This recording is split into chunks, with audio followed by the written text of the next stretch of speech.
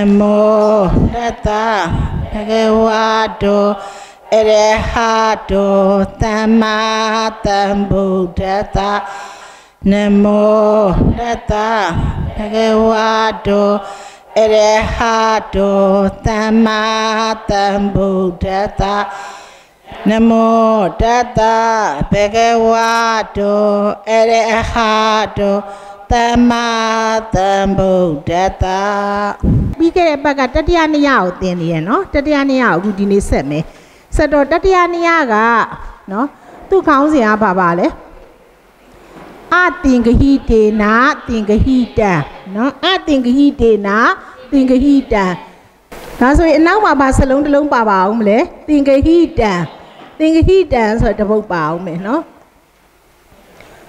အတင်ခိတဆိုတာဘာလဲဆိုရင်ခန္ဓာတော့မတူဘူးခန္ဓာဘာဖြစ်လဲမတူခန္ဓာမတူဘာတူမလဲအာယတနာတူမယ်ဓာတ်တူမယ်ဓာတ်တူမယ်ဘသူတွေနဲ့ဘသူဘသူနဲ့လဲဆိုရင်ဟောဘုံနဲ့ဟောဘုံနဲ့ဘသူနဲ့လဲရေဓမာနဲ့သူနဲ့နှိုင်းရှင်တဲ့တရားနဲ့ဟောဘုံနဲ့ရေဓမာနဲ့ ဘာတော့မတူဘူးလေခန္ဓာတော့မတူအာယနာတူမယ်ဓာတ်တူမယ်เนาะအဲ့ဒီတရားတွေ ဆိုတော့အဲ့ဒီလိုမျိုးရှာမရှာလို့ရမယ်ဟောဘုတ်ကเนาะဘလို့တရားမျိုးလဲဆိုရင်เนาะစေတသိက်စေတသိက်ခန္ဓာတွေစေတသိက်52လုံးဖြည့်ရတယ်52လုံးဆိုတာစေတသိက်52လုံးတည်းက ဝေဒနာဖြည့်ရတယ်တင်ညာဖြည့်ရတယ်သင်္ခါရခန္ဓာတွေဖြည့်ရတယ်စေတသိက်တွေအချင်းချင်းတွဲထားတာမျိုးတွေလည်းရတယ်ဥပမာဆိုတော့ဇာနာဓမ္မဆိုဘယ်သူနဲ့ဘယ်သူတွဲထားလဲ သနာဓမ္မဆိုရင်ဝေဒနာနဲ့သင်္ခါရခန္ဓာစေတသိက်နဲ့ကိုတွဲထားတာဝိတဝိစာရာပီတိဝေဒနာဧကကတာဝေဒနာလွင်ဉာဏသင်္ခါရခန္ဓာထိုက်တဲ့စေတသိက်เนาะအဲ့ဒီလိုမျိုးစေတသိက်52လုံးစေတသိက်ခန္ဓာတွေဖြစ်ရမယ်။ ဘာဖြစ်ရမလဲစေတသိက်ခန္ဓာတွေဆိုတာဝေဒနာဖြစ်ရင်ဖြစ်ပညာဖြစ်ရင်ဖြစ်မဟုတ်ရင်သင်္ခါရခန္ဓာပြတ်ထိုက်တာတွဲလဲရတယ်ဝေဒနာနဲ့သင်္ခါရတွဲလဲရတယ်ဟုတ်တယ်နော်အချင်းချင်းပြန်တွဲလဲရတယ်ပြီးရင်စေတသိက်52လုံးစလုံးဆိုရင်လည်းမရဘူးလားရတယ်ပြီးရင်သုကုမယုတ်လည်းရတယ်နော်သုကုမယုတ်လည်းရတယ်နိဗ္ဗာန်လည်းရတယ်နိဗ္ဗာန်လည်းရတယ် သုကုမယုတ်နဲ့သင်္ခါရခန္ဓာအတွဲတွေလည်းရတယ်နော်သုကုမယုတ်နဲ့သင်္ခါရခန္ဓာအတွဲရပါလေဇီဝိတိန်တွေတို့ဇာတိတို့ဇရာတို့မနမရဏတို့လေနော်ဆိုလို့ရှင်တာအဲ့ဒီတရားတွေကဘာတရားတွေလဲလို့ပြောရင်နော်ဒီဝေဒနာတင်ညာသင်္ခါရသုခုမယုတ်နိဗ္ဗာန်ဆိုတာဓမ္မယရဏထဲမှာပါတဲ့တရားတွေမဟုတ်ဘူးလားဘာတွေလဲဓမ္မယရဏဓမ္မယရဏထဲမှာပါတဲ့တရားတွေ ဓမ္မယရဏတစ်ခုလုံးကဘာလဲဓမ္မယရဏဆိုတာဘာလဲစေတသိက်ဘယ်နှလုံး50စေသိက်52သုခုမယုတ်နိဗ္ဗာန်နိဗ္ဗာန်အဲ့ဒါဆိုဓမ္မယနာဒီသုခုမယုတ်ကဘယ်နှခုလဲစัจကြစัจ6ဆိုရင်အဲ့ဒါဓမ္မယနာအပြည့်လို့ခေါ်တယ်ဒီအားလုံးပါတဲ့တရားဓမ္မယနာအပြည့်ဓမ္မဓာတ်ဆိုရင်လည်းဒီတရားပဲမဟုတ်ဘူးလားဓမ္မဓာတ်ဆိုရင်လည်းဒီတရားပဲ ဒါကအာယနာ12ပါးရတစ်ခုဒါကဓာတ်18ပါးရတစ်ခုဒါပဲအဲ့ဒီဓမ္မယနာဓမ္မတက်ကတော့အဲ့လိုတရားတွေအပြည့်အစုံပါနေတဲ့အတွက်ကြောင့်မလို့မဟောဘူးသူ့သူ့ဟောမလားမဟောဓမ္မယနာဓမ္မတက်အပြည့်ဖြစ်နေလို့မဟောဘူးကျန်တဲ့တရားတွေကသူ့ထဲမှာပါတဲ့ဝေဒနာကြီးပဲဆိုလဲဟောမယ်တင်ညာကြီးပဲဆိုလဲဟောမယ်သင်္ခါရကြီးပဲဆိုလဲဟောမယ်နော်ဒီဝေဒနာတင်ညာသင်္ခါရကိုတွဲထားတဲ့စေသိက်52လုံးပါရင်လဲ ဟောမယ်သူခုမယုတ်ဆိုရင်လဲသူဟောဖို့ဆိုရင်လဲဟောမယ်နိဗ္ဗာန်ဆိုရင်လဲဟောမယ်အဲ့ဒါတွေကိုတွဲထားရင်လဲဟောမယ်နော်တွဲထားရင်လဲဟောမယ်ဒါမဲ့အဲ့ထဲမှာဘာမပါဘူးလဲကြည့်အခုဒီဟာတွေတွေကဟာဆိုဟောမယ်လို့ပြောရင်ဒါထဲမှာဘာမပါဘူးလဲစိတ်မပါဩလာရိကယုတ်ပါလားမပါဘူးနော်စိတ်တစ်စိမ့်နဲ့ဩလာရိကယုတ်တစ်စိမ့်ကိုဘယ်မှာဟောခဲ့လဲနေရနှစ်မှာဟောခဲ့တယ်ဒုတိယနေရမှာဟောခဲ့တယ်နော်အခုဒီမှာမပါတာပါလဲစိတ်ဟောဖို့ဆိုရင်လဲမဟောဘူး နော်နောက်နောက်ဘာလဲမဟောဘူးလေဩလာရိကရုပ်ပါရင်လည်းမဟောဘူးနော်အဲ့တတိယနိယမှာဟောတာဓမ္မယေနဓမ္မဓာတ်အစိတ်ကိုဟောမယ်တဲ့ဓမ္မဘာလဲယရဏအစိတ်အစိတ်ဆိုတာဓမ္မယနာတွေကတချို့သောတရားအစိတ်ဆိုတာဗာလဲဓမ္မယနာတွေကအတချို့သောတရားအင်္ဂလိပ်လိုပြောရင် parts of ဓမ္မယနာပေါ့ဓမ္မယနာတွေကဒစိတ်တတိသားကိုပဲဟောမယ် ဟုတ်တယ်နော်ဒစိတ်တတိသားပါတယ်ဟောပုတ်တွေပဲဟောမယ်ဥဥမာဝေဒနာဟောပုတ်တွေဝေဒနာအပြည့်ဟောပုတ်ဘယ်နှပုတ်ရှိလဲ၃ပုတ်ဝေဒနာအစိတ်ဟောပုတ်ဘယ်နှပုတ်ရှိလဲ၈ပုတ်အဲ့ဒါတွေဆိုဟောမယ်ဝေဒနာပါလို့ဓမ္မယနာထဲမှာဝေဒနာမပါဘူးလားပါတယ်အမဝေဒနာအပြည့်ဟောပုတ်၃ပုတ်ဆိုတာဝေဒနာခန္ဓာရေအဲ့ဒါဝေဒနာခန္ဓာပြီး ရင်ပရိစ္ဆေပတ်သေးကဖတ်တာပစ္စယဝေဒနာပြီးရင်ဖတ်တာတက္ကရာဒီတဲ့ကဝေဒနာအဲ့ဒါဆိုရင်ဝေဒနာအပြည့်ဟောပုတ်၃ပုတ်ဝေဒနာအပြည့်ဆိုတာစိတ်89ပါးနဲ့ရှင်သောဝေဒနာကိုပြောတာနော်ဝေဒနာ89လုံးပါတဲ့ဟောပုတ်တွေစိတ်89ပါးမှာရှင်တဲ့ဝေဒနာဒီဘက်ကရှစ်ပုတ်ကြတော့ဟုတ်ပြီနော်ဝေဒနာမပြည့်ဘူး तू က89ပါးသောဝေဒနာပြည့်လားမပြည့်ဝေဒနာတွေ၅ပါး ဒုက္ခိန်တွေဟောဖို့အိန္ဒြေထဲမှာရှိတဲ့လေဒုက္ခိန်တွေဒုက္ခိန်တွေသောမနသိန်တွေဒေါမနသိန်တွေဥပိ္ပခိန်အဲ့ဟောဖို့တစ်ခုချင်းကဝေဒနာ89ပါးပြည့်လားမပြည့်ဘူးဒုက္ခိန်တွေဆိုရင်ဒုက္ခသဟာကုကာယဝိညာဉ်စိတ်မှာရှိတဲ့ဝေဒနာပဲဒုက္ခိန်တွေဆိုရင်ဒုက္ခသဟာကိုကာယဝိညာဉ်စိတ်မှာရှိတဲ့ဝေဒနာပဲသောမနသိန်တွေဆိုရင်သောမနတသဟာကုစိတ်ပါ 62စိတ်၌ရှိသောဝေ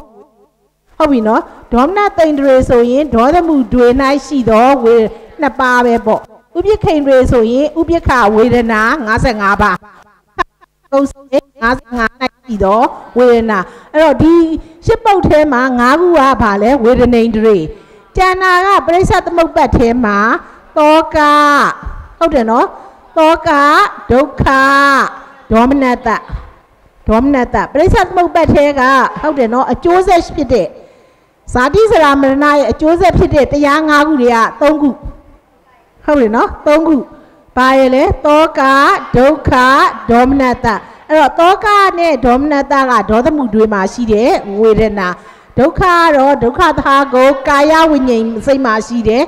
ဒုက္ခရောက်နေတဲ့ခန္ဓာကိုယ်နာကျင်နေဆိုတဲ့ဝေဒနာအဲ့တော့ဒါကဒီထဲမှာတော့ပါပြီးသားပဲခုနဝေဒနေတွေ၅ပါးမှမပါဘူးလားပါတယ်ဒါကအိတ်တွေမှာဟောတာ၅ပုတ်ဒီဘက်ကပရိစ္ဆသမုပ္ပတ်မှာဟောတာအဲ့တော့ကျမတို့381သောဟောပုတ်တွေမှာဝေဒနာဆိုင်ရာဟောပုတ်ဘယ်နှခုရှိလဲ17ပုတ်ဝေဒနာဒီဘယ်နှပုတ်ရှိလဲ17ပုတ်ဝေဒနာအပြည့်က3ပုတ်ဝေဒနာအစိတ်က10ပုတ်ပြီးရင်ပညာဟောပုတ်ကဘယ်နှပုတ်ရှိလဲပညာဟောပုတ်2ပုတ်ပဲ ပညာဟောပုတ်ကဘယ်နှပုတ်လဲ2ပုတ်ပဲဘာလဲတင်ញက်ခန္ဓာရဲ့တင်ညာရဲ့ဖတတတကရာဒီတဲ့ကတင်ညာရဲ့နော်တင်ညာဘယ်နှပုတ်လဲနှစ်ပုတ်နော်အဲ့တော့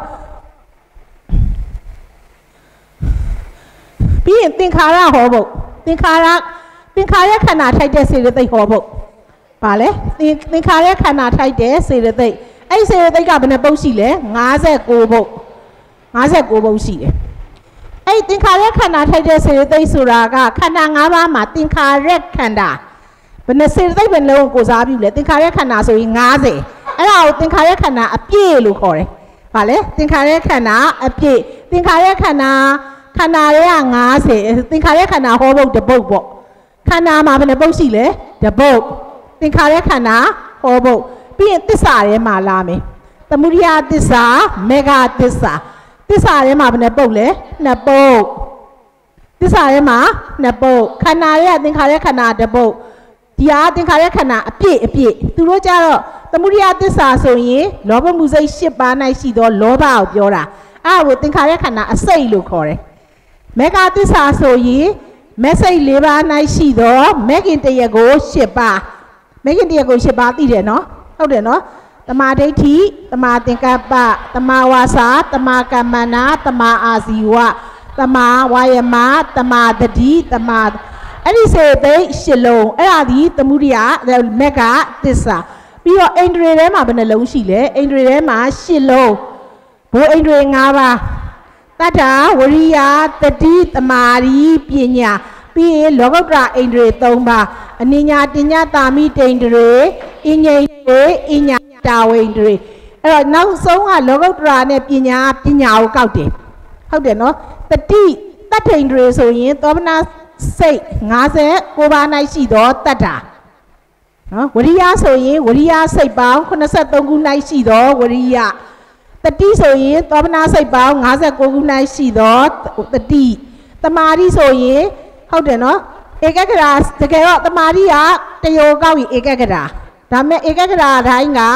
စိတ်89ပါးစလုံးမှာရှင်တယ်ရှင်တဲ့ဧကဂရာတိုင်းဒီတမာတိမခေါ်ဘူးတမာတိခေါ်လို့ရတဲ့ဧကဂရာဆိုတာ82စိတ်မှာပဲရှင်တယ်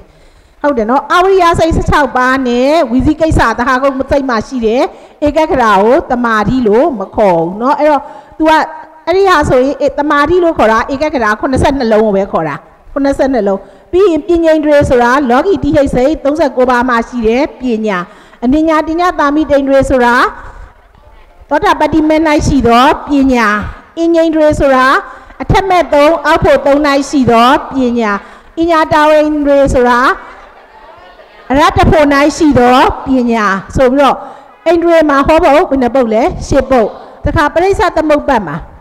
ပရိစ္ဆသမုပ္ပတ်မှာသင်္ခါရခန္ဓာထိုက်တဲ့စေသိပ်ပေါင်းဘယ်လောက်ရှိလဲသင်္ခါရခန္ဓာထိုက်တဲ့စေသိပ်ပေါင်းသည်ဘယ်နှခုရှိလဲ အဝိဇ္ဇာသင်္ခါရဖတ်တာတဏှာဥပါဒံကာမဘဝဥပယာတဟုတ်တယ်နော်ခုနှစ်ခုခုနှစ်ပုတ်7နော်ပြီးရင်အထက်မှာစတ္တရောသတိပဋ္ဌာနာစတ္တရောသမပ္ပဒါနာအဲ့ဒီအဲ့ဒီဥစ္စာကစတ္တရောသတိပဋ္ဌာနာနေအရိယောထင်ကြီးကောမက်ကောတရား၉ပုတ်အဲ့၉ပုတ်မှာနှစ်ပုတ်ပဲ ဇာနာဓမ္မဝေဒနာနဲ့ယောနေလို့အဲ့ဒီဘက်ကစိတ်နဲ့ယောနေလို့เนาะအဲ့တော့ဥပရိဆိုတဲ့အထက်ကဟုတ်ပြီเนาะအဲ့ဒီစတ္တရောသမပ္ပဒါနာခုနှစ်ပုတ်ပြီးရင်ဖတ်တတတကရာဒီက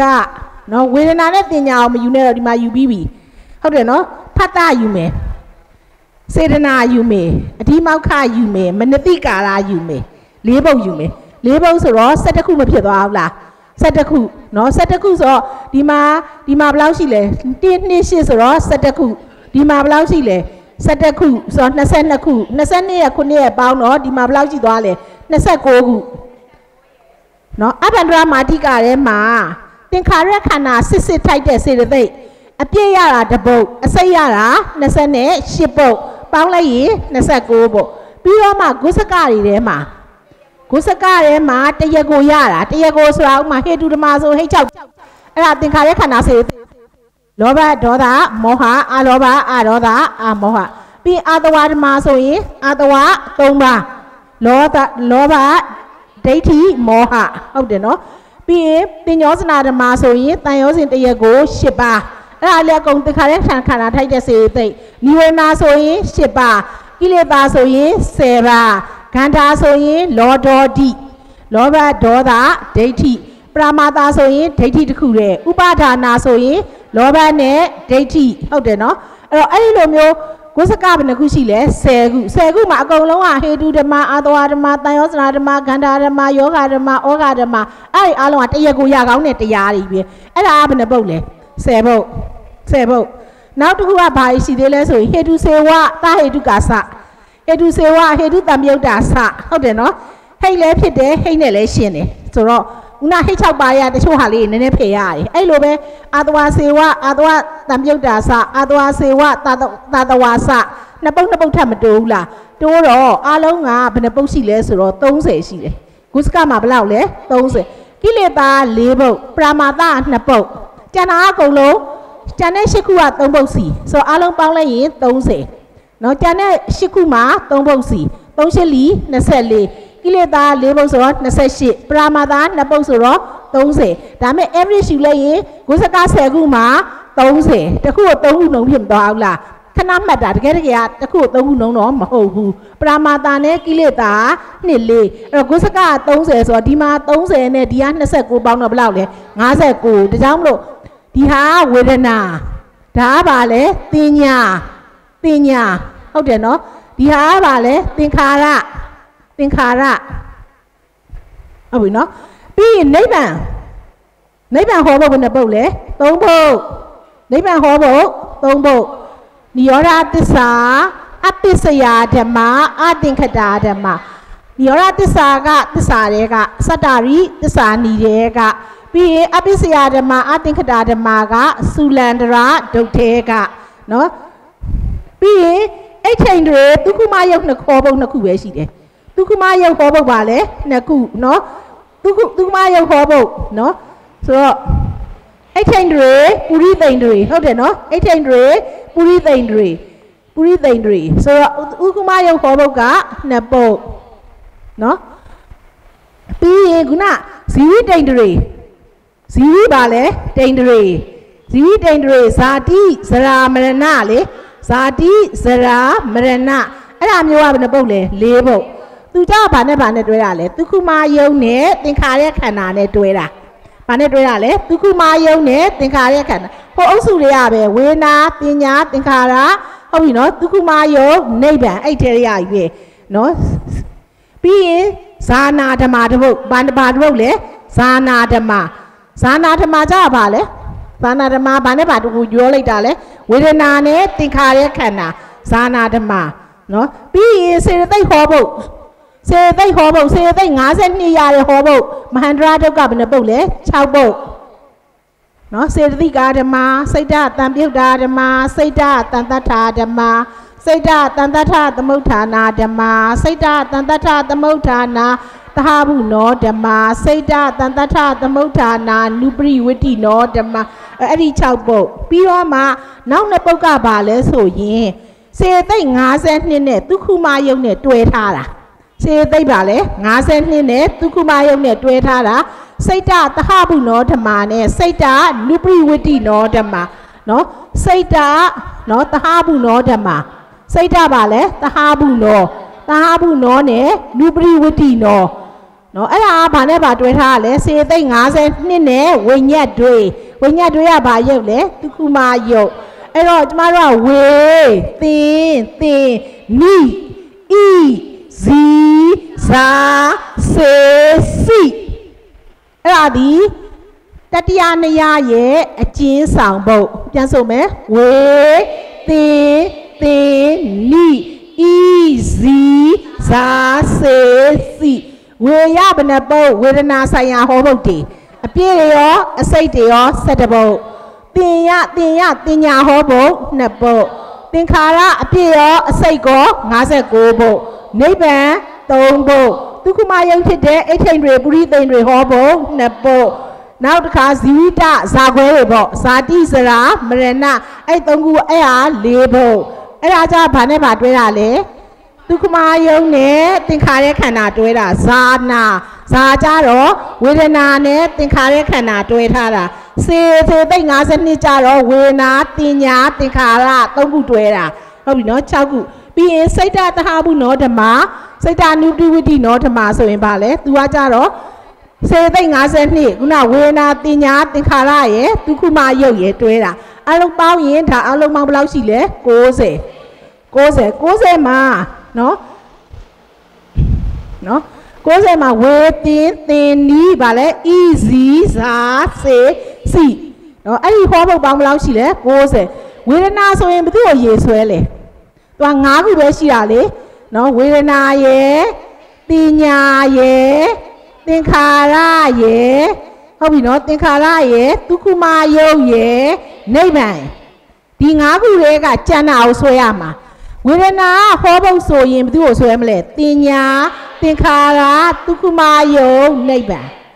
ဝေဒနာတင်ညာသင်္ခါဝေဒနာဟောဖို့ဆိုရင်ဝေဒနာမထည့်တော့ဘူးတင်ညာသင်္ခါရဒုက္ခမယုတ်နိဗ္ဗာန်ဝေဒနာသည်ဟောဖို့ဝေဒနာသည်ဝေဒနာခန္ဓာဘာလဲဝေဒနာခန္ဓာဓမ္မယရဏဓမ္မဓာတ်ဟုတ်လားဝေဒနာဟုတ်တယ်နော်ဝေဒနာ ဝေဒနာဒီပါလဲပြောသူရဲ့ဟောပုတ်ဒီဝေဒနာခန္ဓာဓမ္မယရဏဓမ္မဓာတ်သူရေဆွဲလိုက်တဲ့တရားသူရေဆွဲလိုက်တဲ့တရားပါလဲဝေဒနာပါတော့တင်ညာသင်္ခါရဒုက္ခမယုံနိဗ္ဗာန်ဆိုရင်အဲ့ဒါတင်ညာတင်ညာခန္ဓာသင်္ခါရသင်္ခါရခန္ဓာဒုက္ခမယုတ်ကရူပခန္ဓာနိဗ္ဗာန်ကခန္ဓာဖွဲ့လို့မရတော့စတာ ဟုတ်ပြီနော်ခန္ဓာကဘယ်နှပါလဲ၃ပါးဓမ္မယရဏဓမ္မဓာတ်ဓမ္မယနာဓမ္မတအဲ့တော့သူ့ရဲ့ရေဆွဲတရားမှာဒီသုံးဒီပါလဲဘာခန္ဓာတွေလဲဝေနဲ့ခန္ဓာမပါတယ်ဝေနဲ့ခန္ဓာမပါဘူးဟုတ်တယ်နော်ဝေနဲ့ခန္ဓာရဲ့စိတ်ကတော့ငကိုရမပါဘူးကွာစိတ်ကငကိုရစိတ်လုံးဝမပါဘူးခန္ဓာလေးပါးရပဲစဉ်းစားရမယ်ဝိညာဉ်နဲ့ခန္ဓာကိုအမြဲဖယ်ထား စိတ်ကဒီထဲမှာတစ်ခုမှမပါဘူးစိတ်ကိုဟောလို့မရအောင်เนาะအဲ့ဒါကြောင့်မလို့ဒီခန္ဓာဒီဘာမပါတဲ့ခန္ဓာလဲဝေဒနာမပါတဲ့ခန္ဓာဝေဒနာခန္ဓာကျင်ထားတဲ့ခန္ဓာဟုတ်တယ်နော်ဝေဒနာရဲ့ပါရဲ့လဲစိတ်ရဲ့ပေါ့ဝေရဝိရဲ့ဒီခန္ဓာဒါကတော့ဓမ္မယေနာဓမ္မတအဲ့တော့ခန္ဓာချင်းမတူခန္ဓာချင်းမတူအာယနာချင်းဓာတ်ချင်းတူတယ်အဲ့တော့ဟောပုံနဲ့ရေဆွဲတရားဒီခန္ဓာချင်းမတူဘူး အာယနာချင်းဓာတ်ချင်းတူတယ်အဲ့တော့တင်ညာဝေဒနာပြီးပါလဲတင်ညာနော်တင်ညာဝေတင်ပေါ့နော်တင်ညာအဲ့တော့တင်ညာအရာနော်သူဒီတင်ညက်ခန္ဓာဟုတ်လားတင်ညက်ခန္ဓာဓမ္မယေရနာဓမ္မဓာတ်ဒီဘက်ကအဖြေပါထွက်မလဲဝေဒနာယေသင်္ခါရယေဒုက္ခမယုတ်ဆိုရူပခန္ဓာဝေဒနာခန္ဓာသင်္ခါရခန္ဓာဓမ္မယေရနာဓမ္မဘာခန္ဓာမပါဘူးလေ ပညာခန္ဓာနဲ့ဝိညာဉ်နဲ့ခန္ဓာမပါဘူးနော်ဝိညာဉ်နဲ့ခန္ဓာကတော့ဘယ်တော့မှမပါတာပေါ့နော်အဲ့တော့ပညာပြီးရင်ပါလေသင်္ခါရနော်သင်သင်္ခါရနော်အဲ့သင်္ခါရအရာသူဒီသင်္ခါရခန္ဓာဟုတ်လားသင်္ခါရခန္ဓာဓမ္မယရဏဓမ္မဒတ်သူ့ကိုရေဆွဲရင်ဝေဒနာရဲ့တင်ညာရဲ့ဒုက္ခမယုတ်ရဲ့နိဗ္ဗာန်အဲကြောင့်မို့ star 3 1 1 သူကဘာမပါဘူးလားလဲသင်္ခါရရဲ့သင်္ခါရရဲ့ဝိညာဉ်နဲ့ခန္ဓာရဲ့ကျင်ထားတဲ့သုံးခုဒီခန္ဓာသုံးပါးဓမ္မယနာဓမ္မတက်ကတော့အမြဲတူနေမယ်เนาะပြီးရင်နိနိဗ္ဗာန်နိဗ္ဗာန်ဒီခန္ဓာရှိလားမရှိဘူးတုံညာဓမ္မယရဏဓမ္မဓာတ်เนาะခန္ဓာမရှိဘူးဓမ္မယရဏဓမ္မဓာတ်အဲ့တော့နိဗ္ဗာန်ကိုရေဆွဲရင် ဝေဒနာတိညာသင်္ခါရဒုက္ခမလေးခုဆွဲရအောင်လားဆွဲရရင် तू ကလေးတစ်တစ်လေးတစ်တစ်စတားပါသေးလားမပါဘူးဟောဖို့ကိုယ်တိုင်နိဗ္ဗာန်အဲ့တော့ဒီမှာတော့ဗာပဲလေဝိညာဉ်နဲ့ခန္ဓာတစ်ခုပဲမပါတာဘာမပါဘူးလေဝိညာဉ်နဲ့ခန္ဓာတစ်ခုပဲမပါတာနော်ပြီးရင်ဤအိဋ္ဌိန်တွေပုရိသိန်တွေအိဋ္ဌိန်တွေပုရိသိန်တွေနှစ်ပါးအိဋ္ဌိန်တွေရရူပခန္ဓာမဟုတ်ဘူးလား ရူပခန္ဓာဓမ္မယေနာဓမ္မဓာတ်သူ့ကိုရေဆွဲလဲရေဒုက္ခမယုတ်မပါနဲ့တော့ဝေနဲ့ခန္ဓာသင်္ခါရခန္ဓာတင်ညက်တင်ညက်ခန္ဓာသင်္ခါရခန္ဓာနိဗ္ဗာန်ဆိုတော့ star 3တိတိအော်အဲ့3တိတိကဘာမပါတာလဲဆိုရင်ဘာမပါတာလဲရူမပါဘူးရူပခန္ဓာမပါဘူးဝိညာဉ်နဲ့ခန္ဓာမပါဘူးပြီးရင်ဇီဇီဆိုတာ၄ဘုတ်ဟုတ်တယ်နော်ဘာနဲ့ပါလဲ ဒုက္ခမယုံနဲ့သင်္ခါရခန္ဓာဆိုတော့ခန္ဓာဘယ်နှပါလဲနှစ်ပါးရူပခန္ဓာနဲ့ဟုတ်တယ်နော်သင်္ခါရခန္ဓာသင်္ခါရခန္ဓာနဲ့ခန္ဓာဘယ်နှပါလဲနှစ်ပါးဓမ္မယရဏဓမ္မဓာတ်အဲဆိုရင်ဇီရရေဆွဲရမယ်ဆိုရင်ဟုတ်တယ်နော်ဘာလဲဝေဒနာရဲ့ပညာရဲ့ဒါပဲရေဆွဲရတော့မှာပေါ့နိဗ္ဗာန်ရဲ့အဲ့တော့နှစ်တိတိဟုတ်လားသူရေဆွဲရမှာဝေဒနာရဲ့ပညာရဲ့ နော်နိဗ္ဗာန်ရဲ့ဆိုတော့ star နှစ်တိတိအဲ့တော့ဒီမှာဘာခန္ဓာမပါဘူးလေဆိုရင်ဘာလဲရူပခန္ဓာရဲ့သင်္ခါရခန္ဓာရဲ့ဝိညာဉ်နဲ့ခန္ဓာရဲ့မပါဘူးဒီခန္ဓာ၃ပါးဒီခန္ဓာ၂ပါးဝေဒနာခန္ဓာနဲ့သိဉ္ဇခန္ဓာပဲမတူခန္ဓာချင်းတော့မတူပြီးရင်ဇာဇာဇာယဝေဒနာခန္ဓာနဲ့သင်္ခါရခန္ဓာဝေဒနာခန္ဓာနဲ့ပါလေသင်္ခါရခန္ဓာ နော်သင်္ခါရခန္ဓာနှစ်ခုဓမ္မယရဏဓမ္မဓာတ်နှစ်တစ်တစ်ပဲနော်အဲ့တော့သူ့အတွက်ဒီမှာ star လည်းပါလေဇာအတွက် star ဇာအတွက် star ဝေဒနာနဲ့သင်္ခါရကိုဖယ်တော့တင်ညာနဲ့ရူပခန္ဓာနဲ့တင်ညက်ခန္ဓာဟုတ်တယ်နော်နှစ်တစ်တစ်ဘာနဲ့ပါပါလဲဝေဒနာခန္ဓာကျင်မယ်သင်္ခါရခန္ဓာကျင်မယ်ဝိညာဉ်နဲ့ခန္ဓာကျင်မယ်နော် အကျင်နာရရေးထားတာတကယ်တကယ်ဒါနှစ်ကအတက်ရေးရရယ်နော်အတဲ့ပဲကျင်နာမပါတော့ဘူးနှစ်ကနဲတယ်ဆိုတော့အနဲပဲရေးလိုက်တော့သုံးကျင်နာတွေပြောရင်နှစ်ဆိုရင်ပါလဲ तू မပါဘူးဆိုတော့ဝေဒနာနဲ့ပါလဲတင်ညာဝေဒနာနဲ့တင်ညာ तू तू ကြရင်ပါလဲဝေဒနာနဲ့သင်္ခါရဖေတော့တင်ရူပခန္ဓာနဲ့တင်ညက်ခန္ဓာရူပခန္ဓာနဲ့ပါလဲတင်ညက်ခန္ဓာတင်ညက်တင်ညက်ခန္ဓာ နော်ဒီချက်ချက်ကမပါတော့ဘူးနော်အဲ့မှာပြီးရင်စေ စေစေဆိုတာစေသိမ့်52စေသိမ့်52ဆိုတော့ခန္ဓာ3ပါးဓမ္မယရဏဓမ္မဓာတ်ဟုတ်တယ်နော်ခန္ဓာ3ပါးဆိုတာဗာလဲဝေနဲ့ခန္ဓာသင်ញဲခန္ဓာသင်္ခါရခန္ဓာသင်္ခါရခန္ဓာအဲ့တော့ဒီမှာဗာပဲရတော့လေ star t t t ဘာခန္ဓာလဲရူပခန္ဓာပဲကြံတော့တယ်ရူပခန္ဓာပဲကြံတော့တယ်နော်စီစီစိတ်တာသဟာဘူးနောဓမ္မ စေသိက်52နဲ့ဝိညာဉ်တွေဆိုဝေစေသိက်52ကဝေနာတင်ညာသင်္ခါရဟိုကဒုက္ခမယုတ်ဆို तू ကဒီစိတ်သူ့ဟိုကဘယ်လောက်လဲ4တစ်တစ်လေ4တစ်တစ်တွေဟုတ်တယ်နော် तू ကပါလဲ4တစ်တစ်လေးတစ်တစ်စိတ်တော့မပါဘူးเนาะကြံတဲ့ဟာအကုန်လုံးပါတယ်ခန္ဓာလေးတစ်တစ်နာစိတ်တသဘာဘူးတော့ဓမ္မအဲ့တော့ဒီမှာပါပဲကြံတော့လေဟမ်ဘာဘာပဲယူတော့မလဲနိဗ္ဗာန်ပဲ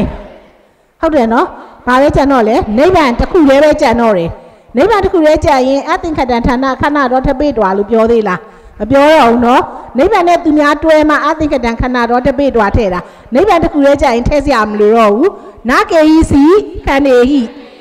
ဟုတ်တယ်နော်ပြီးရင်ဗာလဲဧကေနာယေနာဧကာယဓာတုယနော်ဘာတစ်ခုပဲမပါလဲဆိုဟိုဘက်ကခန္ဓာ၄ပါးဒီဘက်မှာဝိညာဉ်နဲ့ခန္ဓာမပါဘူးဆိုတော့ခန္ဓာ၅ပါးမပြည့်သွားဘူးလား ပြည့်သွားတယ်ဟိုဘက်က၄ပါးဒီဘက်ကဝိညာဉ်နဲ့ခန္ဓာမပါဘူးဟုတ်တယ်နော်အဲ့တော့ဒီမှာ၃ညနော်အဲ့တော့ခန္ဓာ၅ပါးစလုံးကျင်တာပေါ့နော်ခန္ဓာ၅ပါးစလုံးကျင်တာအဲ့တော့အလုံးပြီးသွားတော့ဒါနော်ဒါတတိယနေရပဲဗာလဲတတိယနေရအဲ့တော့တတိယနေရဘာကိုဟောလဲဆိုပြောကြီးတတိယနေရဒီဓမ္မယနာအစိတ်ကိုဟောတယ်ဘာကိုဟောလဲဓမ္မယနာအစိတ်အစိတ်ဟောဘုတ်ကိုကတားဘုတ်လို့ခေါ်တယ်ဟောဘုတ်ကိုကတားဘုတ် ရေဆွဲတရားကိုကံဘုတ်ဟုတ်တယ်နော်ကတားဘုတ်နဲ့ကံဘုတ်တို့ဟာကတားဘုတ်ဖြစ်တဲ့ဟောဘုတ်နဲ့ရေဆွဲတဲ့ကံဘုတ်တို့ဟာဘာမတူရဘူးလေခန္ဓာကြီးမတူရဘူးအာယနာတူရမယ်ဓာတ်တူရမယ်ဆိုတော့ဟုတ်တယ်နော်တူရမယ်ဖြစ်လို့ဘယ်လိုဟောဖို့ပဲမဟောလို့ရလေဓမ္မယနာအစိတ်ဖြစ်တဲ့တရားတွေပဲဟောလို့ရတယ်ဓမ္မယနာအစိတ်ဖြစ်တဲ့တရားဒါမှရေဆွဲတရားကလည်းဓမ္မယနာအကြံပေါ့ ဟုတ်တယ်နော်ဟောဘုတ်ကနေကြံတဲ့ဓမ္မယနာကိုရေဆွဲမယ်ဟောဘုတ်ကကြံတဲ့ဓမ္မယနာကိုရေဆွဲမယ်ပြီးရင်နော်နောက်စုအဖြေထွက်လိုက်တာလည်းဒီဥစ္စာပဲအဖြေဖွဲ့လိုက်တာလည်းဗာလဲရေဓမာကိုအဖြေဖွဲ့ရုံပဲဘာကိုအဖြေဖွဲ့ရုံပဲလေရေဓမာကိုအဖြေဖွဲ့ရုံပဲအဖြေဖွဲ့ရုံပဲဆိုတော့စဉ်းစားကြည့်လေဒီမှာ3 3 3 3တစ်တစ်တွေကဘယ်နှခုပါလဲ3တစ်တစ်တစ်ခု4တစ်တစ်2တစ်တစ်1တစ်တစ်ဆိုတော့1နှစ်3လေးမဟုတ်ဘူးလား 1နှစ်3လေးပြီးအောက်ကနိဗ္ဗာန်ကြတော့ဗာလဲဟိုနိဗ္ဗာန်နဲ့စိတ်တသဟဘူးနော်ဓမ္မကြ3ညတစ်တစ်ဆိုအဖြေရဘယ်နှမျိုးရှိရလဲ5မျိုးအဖြေက5မျိုးကနန်းပေါ့ကနန်း၅မျိုးဒါမဲ့ဒီ၃တစ်တစ်နဲ့ဒီ၃တစ်တစ်နဲ့တူလား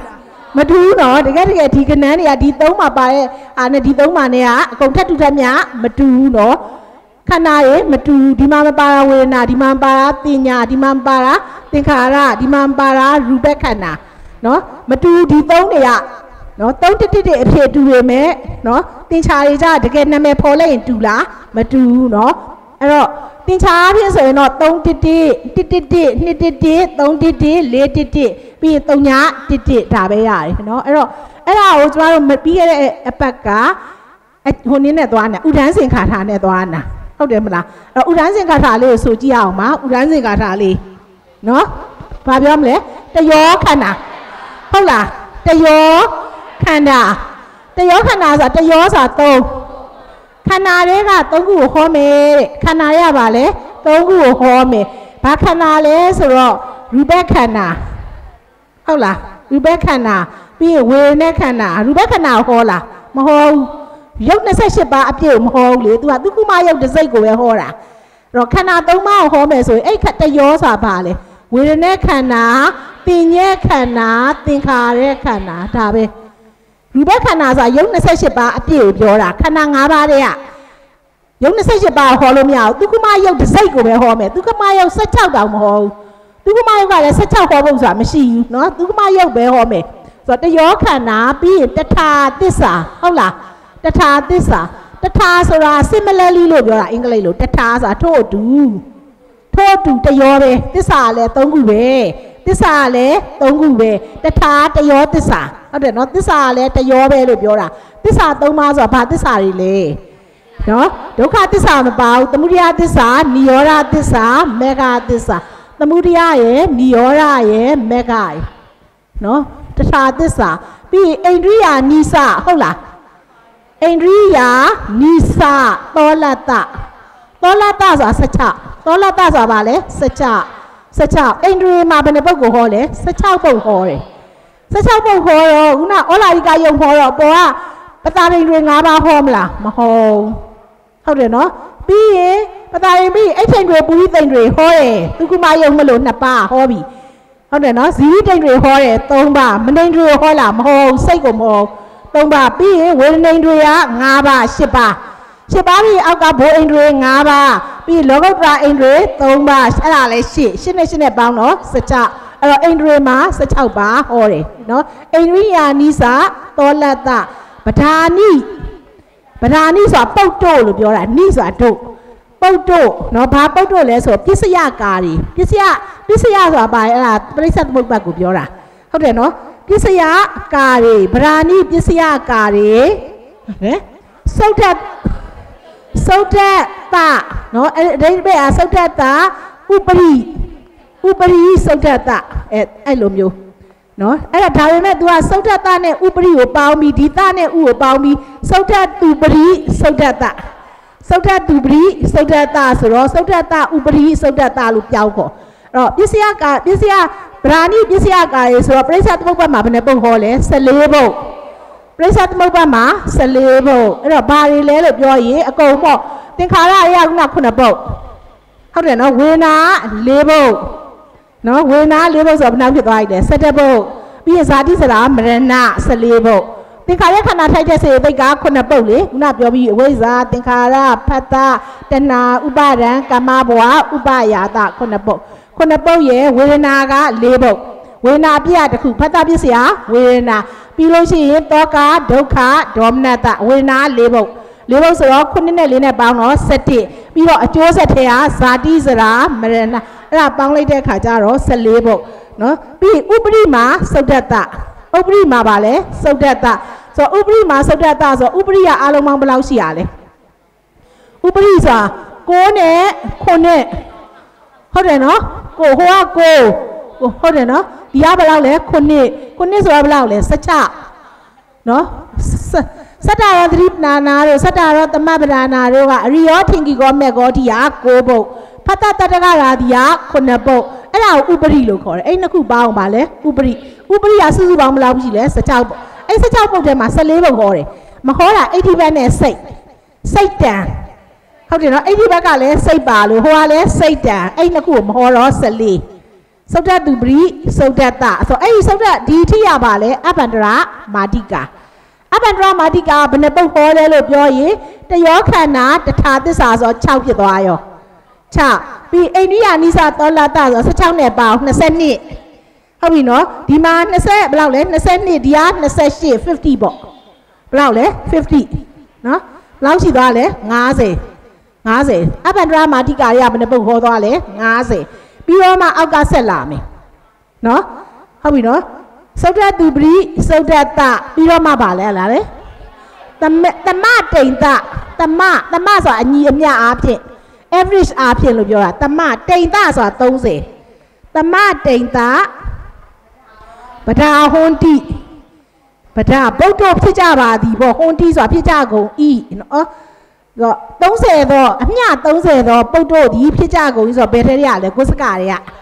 ကိုစကတွေက30နော်သမတ်တိန်တာပဓာဟွန်ဒီဗာလဲဂုစကေတု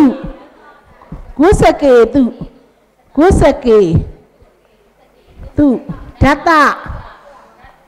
တွဋ္ဌဆိုတာဓာတတုအထဟုတ်တယ်နော်ဓာတတုဗာလဲအထအဲ့ဒီမှာအထတသက်ဂုစကေတုဓာတတု ဟုတ်တယ်နော်ဂုစကဘယ်နှပုတ်လဲဂုစက10ပုတ်ဂုစကေဂုစက10ပုတ်သူ့စွာဒိုး၌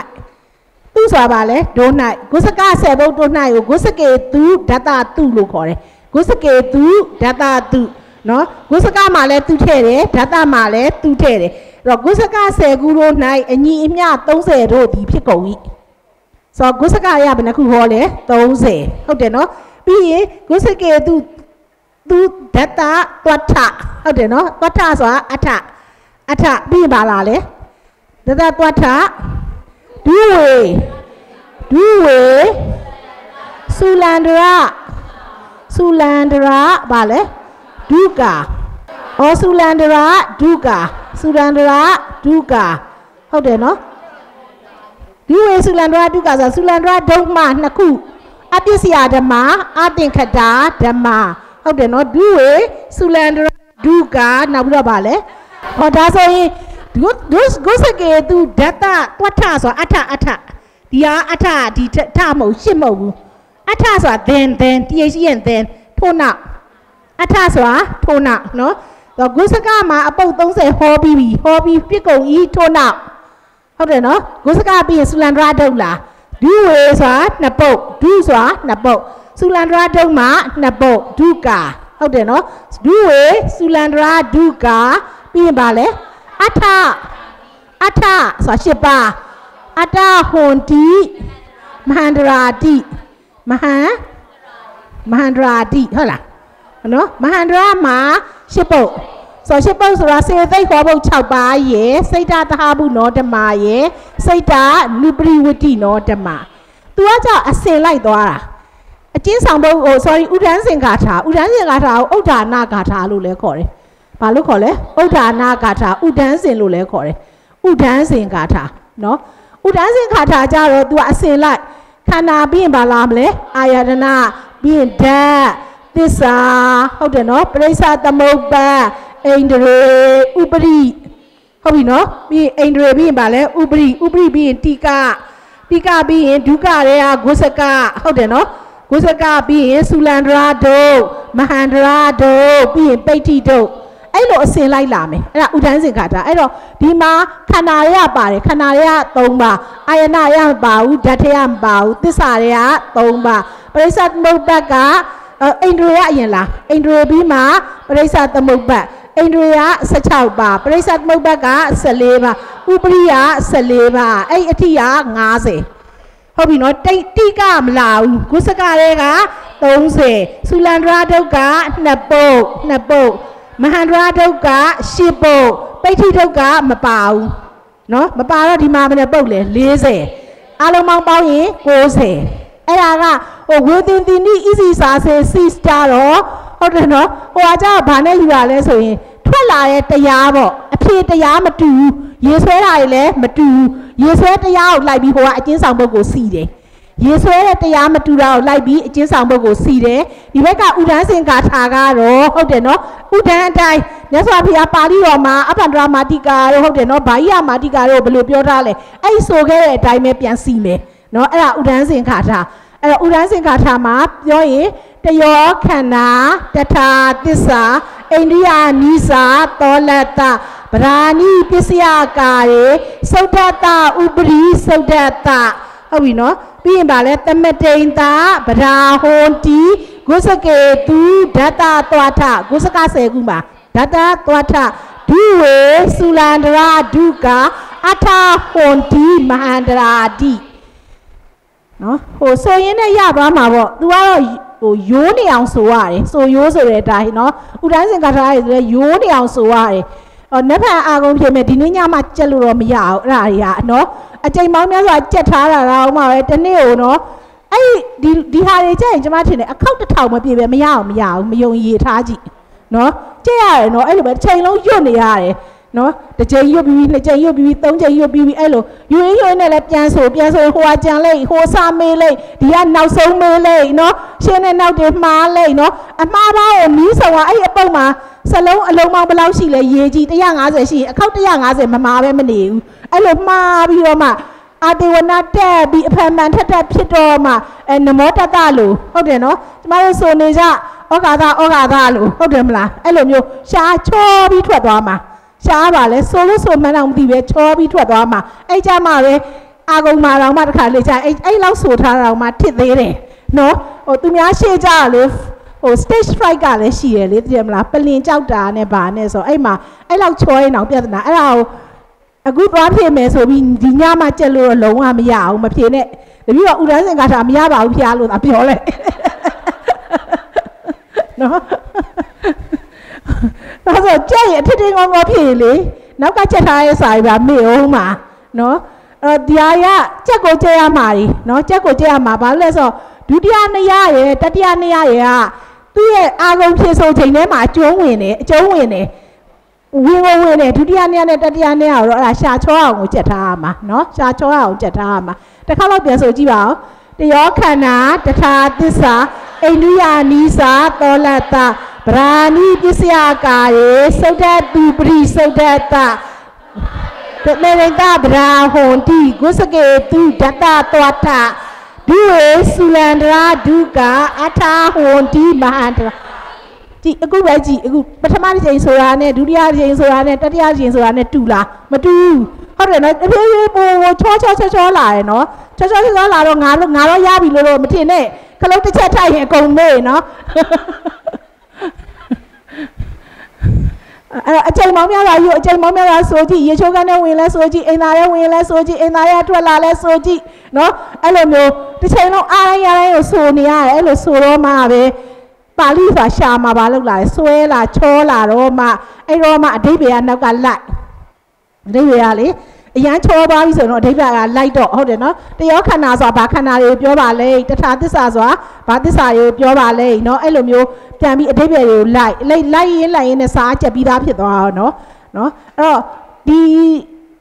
အခုဒီရအပြီးမှပြန်ပွားရေးအသင်းကြီးကတအားကျေးဇူးတင်ဖို့ကောင်းတယ်။ဘာလို့ဆိုကျမတို့အဲ့လိုစာတွေကိုလေဗဇက်ကနေချိန်လုံးရွတ်ဆိုနေအောင်လေလုပ်ပေးတယ်။နော်လုပ်လုပ်ပေးတယ်။ သူများဟိုမှာချောချောမောမောဖြစ်တော့လေကိုလည်းချောချောမောမောဖြစ်ချင်တော့ဘာဖြစ်လဲမခံကျင်စိတ်ကလေးနဲ့ပေါ့နော်ဟုတ်တယ်နော်အဲဘာပဲဖြစ်ဖြစ်အဲ့လိုမျိုးကြက်ဖြစ်တော့ခဏခဏအချိန်မောင်းများစွာမကြက်ဖြစ်ဘူးလားအဲ့အာကုံသာမရှိရင်ကြက်ဖြစ်မလားကြက်ဖြစ်ဘူးနော်အာကုံရှိလို့အဲ့လိုအချိန်မောင်းများကြက်တော့ဒီအရန်ခက်ပါတယ်ဆိုရဲပါဠိတော်မူရင်းတရားတွေကိုကျမတို့ကနှုတ်တက်ရွရအာကုံဆောင်တဲ့အဖြစ်ကိုမရောက်သွားဘူးလားရောက်တယ်အဲအာကုံဆောင်တော့ဘာတွေဘာဖြစ်တယ်အာကလူတွေပေါ့ဟုတ်တယ်နော်အဲ့ဒါ တကယ်အာကလူဆိုတာသူများမကြက်ချင်တဲ့စာတွေကိုကြက်တာဟုတ်တယ်နော်ကျမတို့ကလိုလားဆိုတာကြက်တာသိလားနော်တကယ်လိုလားဆိုတာကြက်တာဟိုဟိုခလေးလေးတွေဖုန်ကြီးလေးတွေအခုမှကြောင်းတက်ခါစားလေးတွေကြောက်လေသူတို့ကဘာမှမသိညာမှမသိလူလောကတွေကိုရောက်ပြီးနော်ဖုန်ကြီးဝေးရမယ်ဆိုပြီးဝေးလာလို့ဒါလေရောက်လာဒီစာတွေသူတို့ကသိပြီးချစ်မြတ်နေဆိုတာကြက်တာမဟုတ်ဘူးကျမတို့ကဒီမှာတန်လျာကြီးထဲမှာနေပြီးတော့ဟုတ်တယ်နော်တန်ဝေကတွေအပြည့်နဲ့နော် ဒီစာရလိုလားဆိုတာချစ်မြတ်နိုးဆိုတာကြက်တာမတူခံယူချက်ချင်းကလည်းမတူနော်အဲကြောင့်မလို့အဲကြောင့်ကျွန်တော်တို့ကတကယ်ကိုအာကလူအစ်စ်တွေနော်တကယ်အာကုံဆောင်ပြီးတော့နော်အဲ့ဒါတကယ်ကိုကြက်ချင်လွန်လို့ကြက်တာအဲ့ကြက်ချင်လွန်လို့ကြက်တဲ့အခါမှာတော့စိတ်ကသာဖြတ်ထားအပြတ်သာပြတ်လိုက်ငါဒီဆောင်တော့ဖြစ်ရင်ကြက်ကိုကြက်ရမှာပဲနော်မကြက်ချင်လို့တော့မရဘူးတွေ့တွေ့ကိုတွေ့ထားလိုက်သူများငါမကြက်ရင်သူများတော့ကြက်နေပြီနော် အဲ့တော့ဒါရသွားပြီနော်ဒါရသွားလို့ရှိရင်အခုကျမတို့စာရွက်ကလေးပြန်ထုတ်ရအောင်နော်စာရွက်ကလေးပြန်ထုတ်တတိယနေ့ကစာမျက်နှာ15စာရယ်နော်စာမျက်နှာဘယ်လောက်လဲ15နော်15ဒီစာရွက်ကလေးအတိုင်းပဲကြည့်သွားမယ်နော်စာရွက်ကလေးအတိုင်းပဲအဲ့တော့ပထမဇရာလေးကိုပြထားတယ်ဟုတ်တယ်နော်ဇရာလေးအဲ့ဇရာလေးကိုလေ့လာကြည့်အောင်ပါ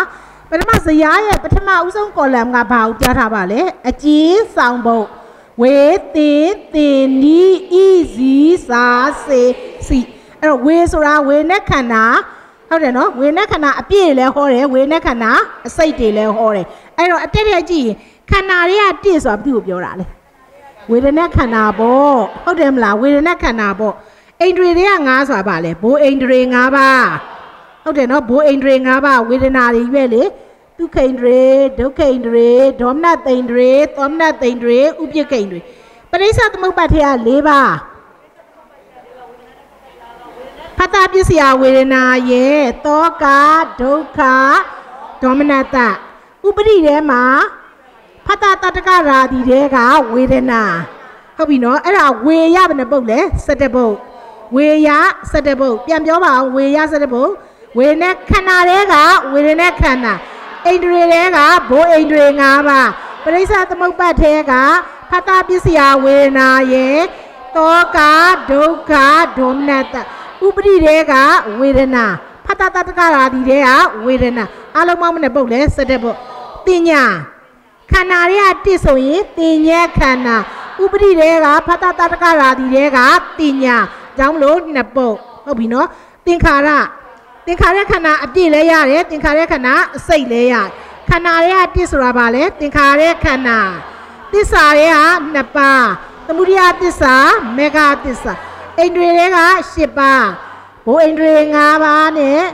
လောကုတ္တရအိန္ဒြေ၃ပါးခုနကအိန္ဒြေကဝေဒနိန္ဒြေနော်ခုနကျွန်မမှားပြောနေတယ်နဲ့ပရိစ္ဆသမုပ္ပတ်ပရိစ္ဆသမုပ္ပတ်တွေကခုနှစ်ပါးခုနတစ်ချိန်လုံးရွတ်ပြနေနော်ဟုတ်တယ်နော်ဥပရိယဘယ်နှပါးလဲ၁၇ပါး ၁၇ပါးဆိုတာပထမနော်တတ္တတိပဋ္ဌာန်တို့သမပဋ္ဌာန်တို့တွေကခုနှစ်နော်ဖတ်တတတ္တကရာတိတွေက၄ဖတ်တတတတ္တကရာတိကဆိုဖတ်တရဲ့စေရနာရဲ့အဒီမောက္ခရဲ့မနတိကာရရဲ့ပြီးတော့မှနောက်မှာဂုစကရဘယ်လောက်လဲ30အလုံးပေါင်းလိုက်ရင်ဘယ်လောက်လဲ59နော်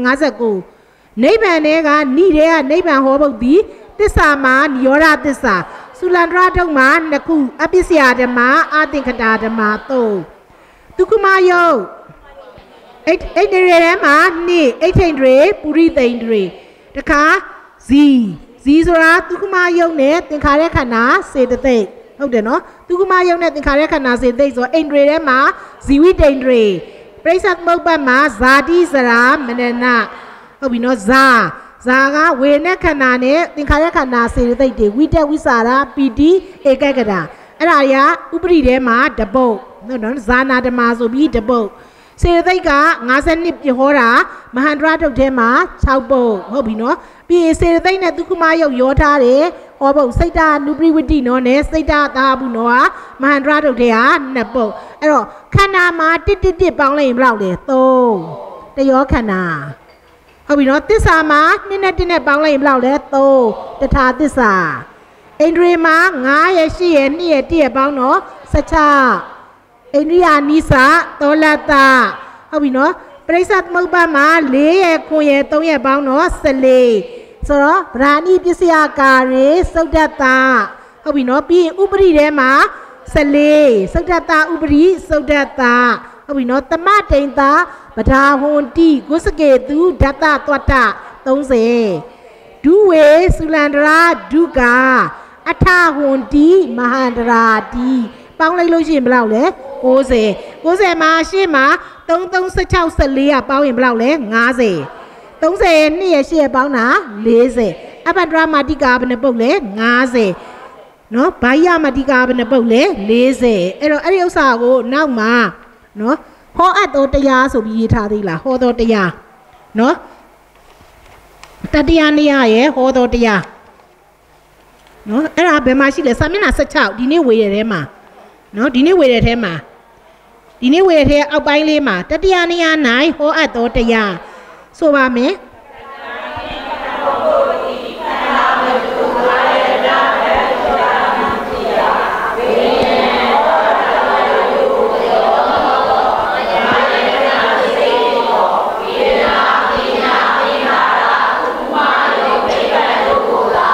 အဲအဲ့မှာဓမ္မယနာအစိတ်လည်းဖြစ်ရမယ်အဲ့ဒီ နော်ဝေဒနာတင်ညာသင်္ခါရတိကုမယုတ်တရားဘာတွေနဲ့မရောရဘူးလေဝိညာဉ်တို့ဩလာရိကယုတ်တို့နဲ့မရောရဘူးနော်အဲ့ဒီဟာတွေမဟုတ်ဘူးလေတချို့ဟောဘုတ်တရားအဲ့ဒီစေသိတ်တွေပါမယ်နော်ဒုက္ခမယုတ်တွေပါမယ်နိဗ္ဗာန်တွေပါမယ်ဘာတွေနဲ့ရောနေလဲဩလာရိကယုတ်တို့စိတ်တို့နဲ့ရောနေမဟုတ်ဘူးသူပြောတာနော်ဝိညာဉ်ဩလာရိကယုတ်တို့မရောတော့တော့ဒါ adjective တစ်ခုဓမ္မယနာဒစိမ့်ဖြစ်တော့ ဝေနာပညာသင်္ခါရသုကမယုံနိဗ္ဗာန်တို့ကိုသာဟောဤအပန္ဒရာမှာ90ပုံဘာယမာဂိကမှာ40ပုံစုစုပေါင်း60ဖြစ်သည်နော်အဲ့တော့ဒါကိုသူကပါဠိကိုနေကြပြားလေးတစ်ခုရှိတယ်ဓမ္မယရနာချို့ဝဲ့ရတာဗဒများကိုဟောကြားတမှာနော်တမှာဆိုတတရားနေရမှာဓမ္မယရနာချို့ဝဲ့ဆိုဓမ္မယရနာအစိတ်ပေါ့နော်ဓမ္မယရနာအပြည့်ကိုမဟုတ်ဘူးအဲ့တော့တတရားနေရ၌မဟောအပ်သောတရား စိတ်ဟောဘုတ်တွေမဟောဘူးဝိညာဉ်ဩလာရိကယုံနေယောနောနေသောတရားများမှာအာယနာဓာတ်တူမရနိုင်၍မဟောနော်ဓမ္မယနာဓမ္မဓာတ်တို့မှာအချိုးဝဲမဟုတ်သောကြောင့်မဟောဟုတ်ပြီနော်ပြီးရင်တတိယနိယရဲ့ရေဆွဲစီကံဘလို့ရေဆွဲလဲဓမ္မယနာဟောဘုတ်ဓမ္မယနာအစိတ်တွေကိုကြံ ခြံပြီးတော့ဓမ္မယနာအစိတ်ကြံတဲ့တရားကိုဟောတာဟုတ်တယ်နော်အဲ့တော့ဓမ္မယနာဖြစ်ထိုက်သောတရားတို့ကိုတဲ့နော်ခန္ဓာဗေဒအားဖြင့်ဓမ္မယနာရဲ့တရားတွေကိုဝေဒနာတွေ့ရင်ဝေဒနာခန္ဓာလို့ယူလိုက်တယ်တင်ညာလို့တွေ့ရင်တင်ညာခန္ဓာလို့ယူမယ်အဲ့လိုမျိုးခန္ဓာဗေဒအားဖြင့်နော်ဝေဒနာတင်ညာသင်္ခါရသုကုမယုတ်နိဗ္ဗာန်ဟူ၍၅မျိုးခွဲကဟော၅မျိုးကစလုံးမောင်းမားနေနော်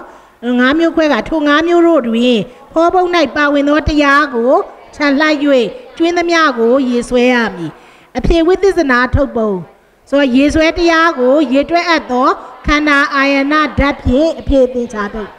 ဟုတ်တယ်နော်ရေဆွဲတရားကိုခန္ဓာဘလောက်အာယနာဘလောက်ဓာတ်တို့နဲ့ရေမလဲဆိုတာနဲ့အဖြစ်သင်္ချာထုတ်တယ်နော်အဲ့တော့အဲ့ဒါနဲ့ပတ်သက်ပြီးတော့အပေါ်မှာနော်ဝေနဲ့ခန္ဓာနဲ့189နော်ဒါတပုတ်ကိုဥပမာတပုတ်မဟုတ်နှစ်ပုတ်ကိုပြထားတယ်နှစ်ပုတ်နှစ်ပုတ်နော်နှစ်ပုတ်ကိုပါဠိနဲ့ နော်ပါဠိကိုလည်းရေးတယ်ပါဠိကိုနေထေသပါဠိလို့ခေါ်တယ်ဘာလို့ခေါ်လဲနေထေသအကျယ်ပါဠိအကျယ်ပါဠိကိုအောက်မှာမြန်မာပြန်အောက်မှာပါလဲမြန်မာပြန်အဲ့တော့ဝေနဲ့ခန္ဒီနာယေဓမဆိုဝေနဲ့ခန္ဓာသည်ဟောဖို့နော်ယေဓမာသည်ရေဆွဲတရားဝေနဲ့ခန္ဓာသည်ကံဖို့ယေဓမာသည်အဲ sorry ဝေနဲ့ခန္ဓာသည်ကတာဖို့ယေဓမာသည်ကံဖို့အဲ့တော့ဝေနဲ့ခန္ဓာသည်ယေဓမာဖြစ်တဲ့ဝေနာမပါတဲ့တင်ညာ သင်္ခါရသုကုမယုတ်နိဗ္ဗာန်တို့ကိုခန္ဓာနော်ကြည့်ဝေနဲ့ခန္ဓေနာဝေနဲ့ခန္ဓာသည်ယေဓမာအကျဉ်တင်ညာသင်္ခါရသုကုမယုတ်နိဗ္ဗာန်တို့ကိုခန္ဓာသင်္ကဟေနဝေနဲ့ခန္ဓာဟူသောရေတွက်ခြင်းဖြင့်အတ္တင်္ဂဟိတာမရေတွက်အပ်ကိုအာယနာသင်္ကဟေနအာယနာဓမ္မယနာဟူသောရေတွက်ခြင်းဖြင့်သင်္ကဟိတာရေတွက်အပ်ကုန်ဤ ဓာတုသင်္ကဟိအနေနဓမ္မတရေသင်္ကဟိတာရေတွက်ဟုတ်တော့ပထမစစချင်းကမရေတွက်တာနောက်တစ်ခုကဘာလဲရေတွက်တာတေဓမ္မာတေဓမ္မာဆိုရင်ခုနရေဆွဲတရားကိုပြန်ပြောတာထိုတင်ညာသင်္ခါရတုကုမနိဗ္ဗာန်တို့ကိုကတိခန္နေဟိအဘယ်များကုန်သောခန္ဓာတို့ဖြင့်ကတိဟာယရနေဟိအဘယ်များကုန်သောအာယနာတို့ဖြင့် ကတိဓာတုဟိအဘယ်များကုန်သောဓာတ်တို့ဖြင့်သင်္ကဟိတာရေတွဲအပ်တနီတေဓမ္မာထိုတင်ညာသင်္ခါရတုကုမယုတ်နိဗ္ဗာန်တို့ကိုအတင်ခတံနိဗ္ဗာန်ကိုခန္ဓာတော်ခန္ဓာဟုသောအရေးအတွက်မှထပ်ပိတွာလွတ်၍စလုံးမောင်းမနေနော်ထဧပိတွာဖြစ်နေထပ်ပိတွာလွတ်၍တီဟိသုံးပါးကုန်သောခန္ဓေဟိ ရူပခန္ဓာတင်ညက်ခန္ဓာသင်္ခါရခန္ဓာတို့ဖြင့်ဧကေနတပါသောအာယရနေဟိဓမ္မာယရဏဖြင့်ဧကာယတပါသောဓာတုယာဓမ္မရပိသင်္ကဟိတာရေတွဲအကုံဤဣတိဝိသစ္စနာဤသို့သောအဖြစ်ဟောတိဖြစ်အဲစိတ်တသဟဘူးနောဓမ္မအောက်မှာတစ်ခုထပ်ပေးထားတယ်စိတ်တသမှုဟိသဟဘူးဟိဓမေဟိယေဓမ္မ ခန္ဓာသင်္ကေနာအသင်္ကဟိတာအာယနာသင်္ကေနာသင်္ကဟိဓာတုသင်္ကေနာသင်္ကဟိတာတေဓမ္မကတိခန္နေဟိကတိဟာယေကတိဓာတုဟိသင်္ကဟိတာတေရမနာကေဟိစီခန္နေဟိဧကေနာယရနေနာဧကာယဓာတုယာသင်္ကေစိတ်တသဟဘူးဟိနော်အဓိပ္ပာယ်ဟာစိတ်နဲ့တကွာဖြစ်ကုန်သောဓမေဟိ စေသိက်50နှစ်ဝိညာဉ်တွေတို့သည်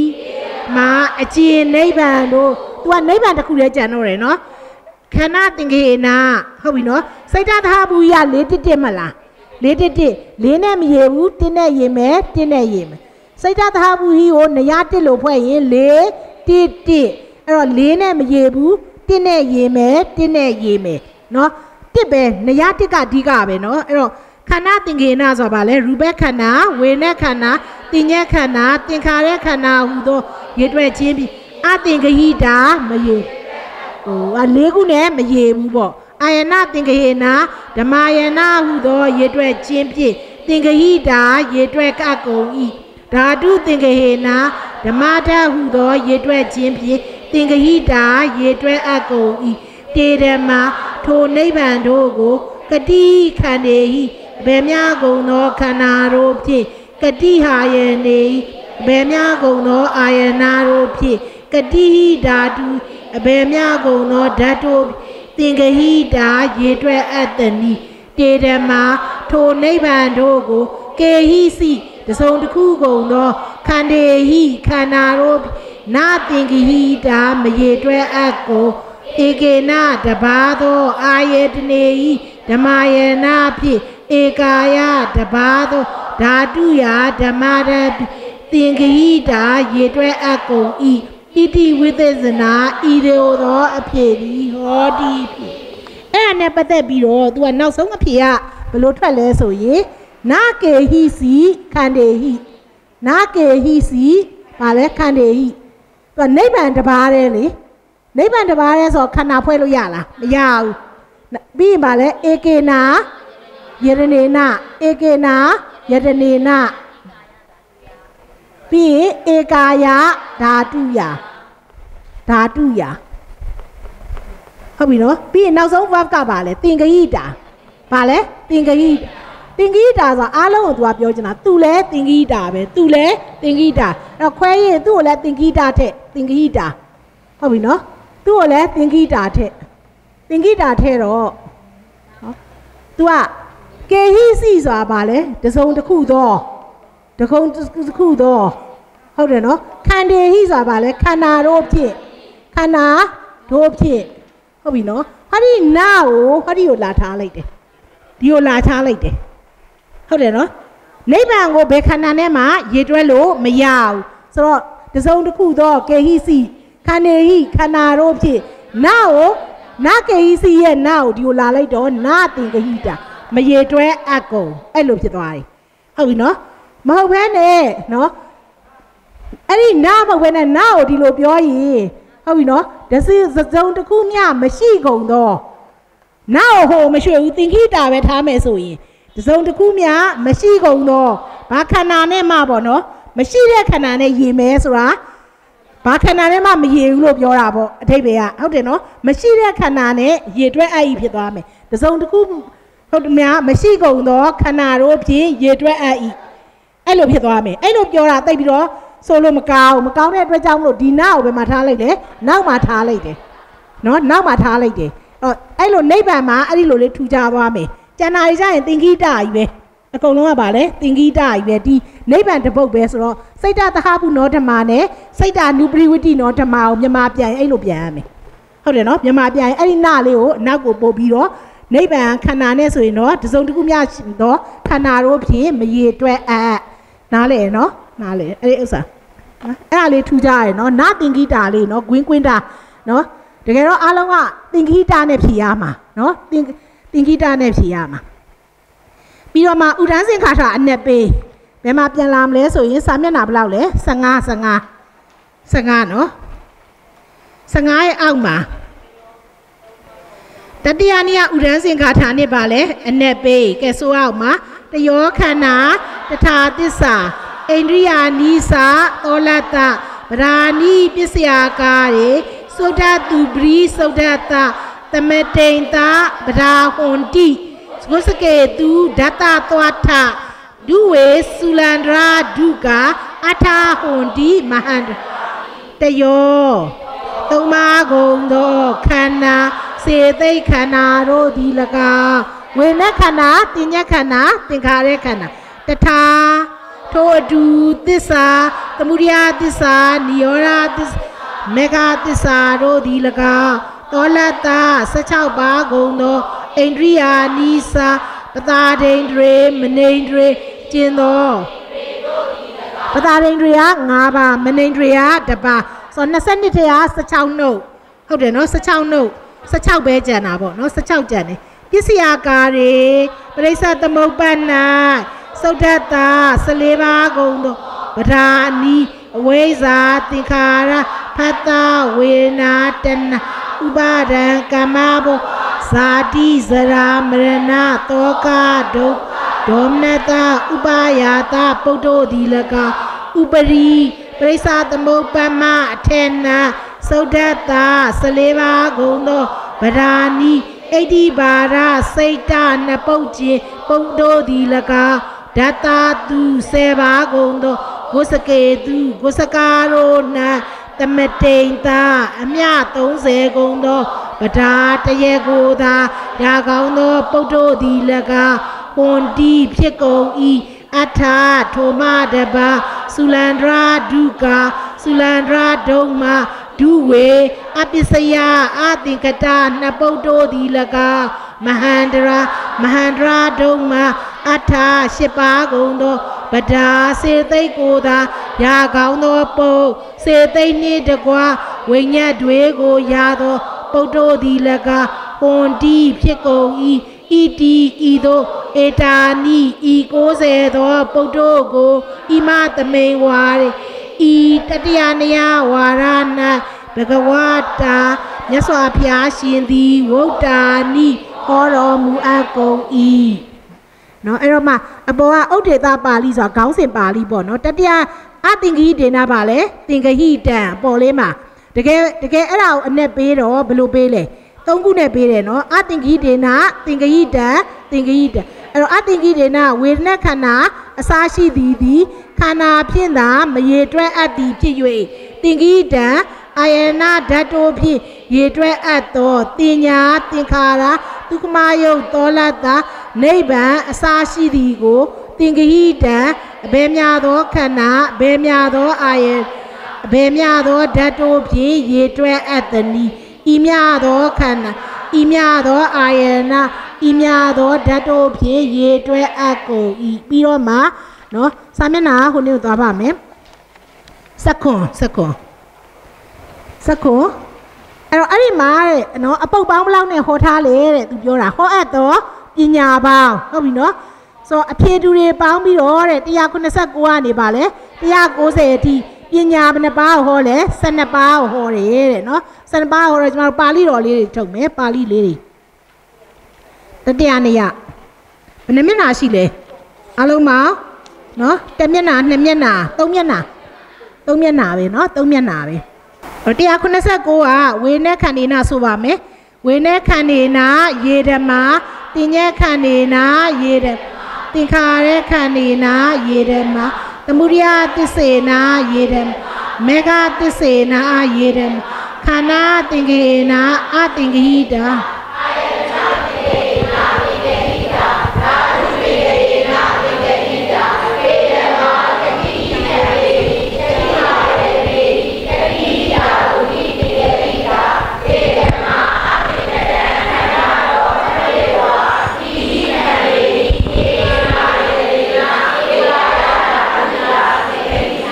တော့ဒီမှာ189မှာဘယ်နှပုတ်ဟောလဲဝေဒနာရဲ့တင်ညာသင်္ခါရသမုဒိယသစ္စာမေဃ၅ပုတ်ပေါ့နော်အဖြေတူတွေပေါင်းပြီးတော့၅ပုတ်ရေဆွဲတာတော့မတူဘူးနော်တကယ်တကယ်ကနော်ဒါပေမဲ့အဖြေတော့တူသွားတာနော်နောက်ပြီးတော့ဗာလဲပညာ180မှာသူ့ကိုဟောတယ်နိရောဓသစ္စာကဲပူဇော်ပါမယ်နိရောဓသစ္စေနာရေဓမ္မခန္ဓာသင်္ကေနာအသင်္ကိတာအာယနာသင်္ကေနာသင်္ကေ ဓာတုသင်္ကေနာသင်္ကေတေရမစတုဝိခန္နေဧကေနာယရနေနာဧကာယဓာတုယသင်္ကေ181ဇီဝိတိန်တွေဇီဝိတိန်တွေကခဏလေးခန္ဓာအာယနာဓာတ်ဘယ်လောက်ရှိလဲဇီဝိတိန်တွေကန္နာ111 111 211 211နော်အဲ့တော့ဇီဝိတိန်တွေရေနာရေရမခန္ဓာသင်္ကေနာအသင်္ကေအတူးနဲ့မရေဘူး အဲအဲ့လိုပြောတာနော်အာယနာသင်္ကေနာသင်္ကေဟိတာဓမ္မယနာနဲ့ရေမယ်ဝမ်းနဲ့ရေမယ်ဓာတုသင်္ကေနာသင်္ကေဟိတာဓမ္မဓာတ်နဲ့ရေနော်တေဓမ္မာအသင်္ခတံခန္ဓာတော်ထပိတောဒွီခန္နေဧကေနာယနေနာဧကာယဓာတုယတိအော်ဇီဝိတိန်တွေမှာလည်းတပုတ်ပဲအဲ့တော့182မှာအိတ်ချိန်တွေနဲ့အဖြေတူတဲ့ပုတ်ပေါင်းမတဲ့ပုတ်လဲ22ပုတ်အဲ့တော့အိတ်ချိန်တွေနာရေဓမ္မာ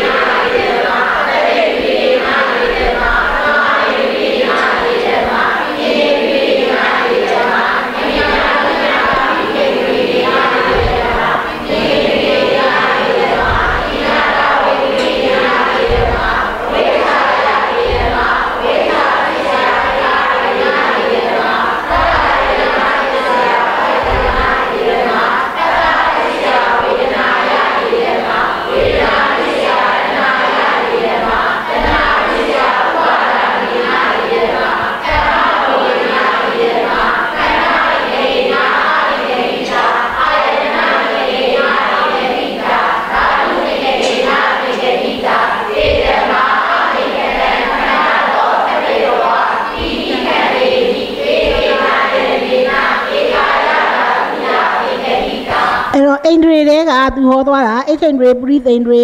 နှစ်ခုသူဝေဒိန္ဒြေက5ခုဘိုဣန္ဒြေက5ခုเนาะအဲနော်လောကုတ္တရအိန္ဒြေကဘယ်လောက်လဲ3ပါအလုံးပေါင်း15ပုတ်လောက်เนาะပြောတော့အနောက်ကနေပြီးအဝိဇ္ဇာနော်သင်္ခါရတတနော်ဖတ်တဝေဒနာတဏှာဥပါဒံကာမဘဝအဲ့ဒါခုနှစ်ပုတ်နော်ခုနှစ်ပုတ်22ပုတ်ဟောသွားတယ်နော်ပြီးတော့မှဇာတိနော်ဇာဇာတိနော်ဇာတိနဲ့တူတာ၄ပုတ် ဇာတိရာယေဓမ္မာဇရာယယေဓမ္မာမရဏေနယေဓမ္မာ